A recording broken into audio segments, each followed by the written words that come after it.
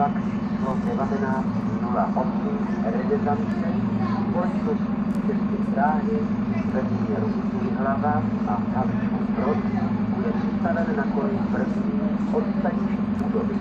Pravidelný odjezd 10 hodin 36 minut.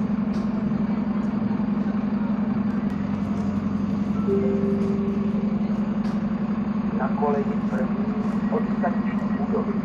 nastupujte do spěšného vlaku číslo 1908 Redezance společnosti České dráhy ve směru Jihlava a Kaličku Brod pravidelný odjezd 10 hodin 36